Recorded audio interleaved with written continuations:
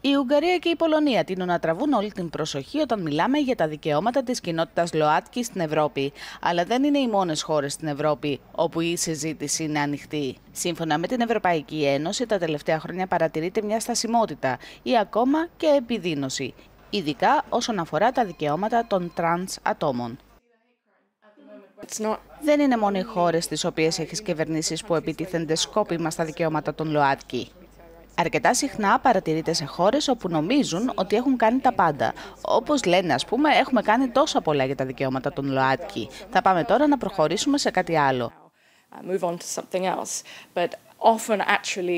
Αυτό όμως που συμβαίνει είναι ότι στοχεύουν στην προστασία λόγω σεξουαλικού προσανατολισμού, αλλά όχι τόσο πολύ για λόγους ταυτότητας φύλου ή χαρακτηριστικών φύλου. Γι' αυτό και η εικόνα στην Ευρώπη είναι αρκετά μεικτή, αντί αυτής της ψευδούς διαδικότητας μεταξύ Δύσης και Ανατολής.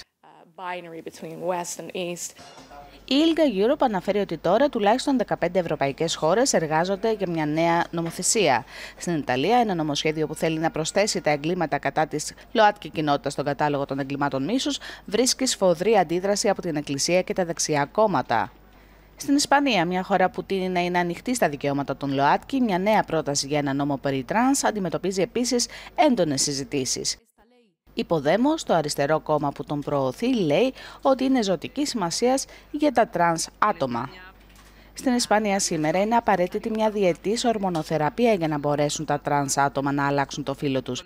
Αυτό που κάνουμε με αυτό το νόμο είναι μόνο η βούληση του συγκεκριμένου ατόμου να αλλάξει το φύλο του να είναι απαραίτητη και στη συνέχεια να μπορεί να το δηλώσει ενώπιον του ληξιαρχείου.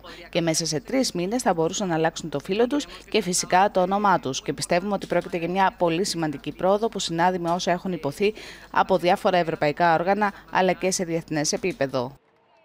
Ωστόσο, τα συντηρητικά κόμματα ανησυχούν ότι θα θέσει σε κίνδυνο το νομικό σύστημα.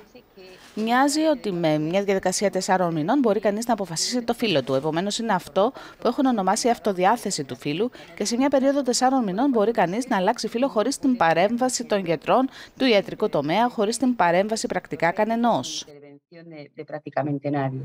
Η νέα νομοθεσία μπορεί να αποτελέσει το κλειδί για τη βελτίωση των δικαιωμάτων των ΛΟΑΤΚΙ σε μια στιγμή που τα εγκλήματα μίσους αυξάνονται σε όλη την Ευρώπη. Η επίδραση της ακροδεξιάς και των λαϊκιστών είναι ένας από τους λόγους για τους οποίους η βία κατά των μειονοτήτων έχει αυξηθεί τους τελευταίους μήνες.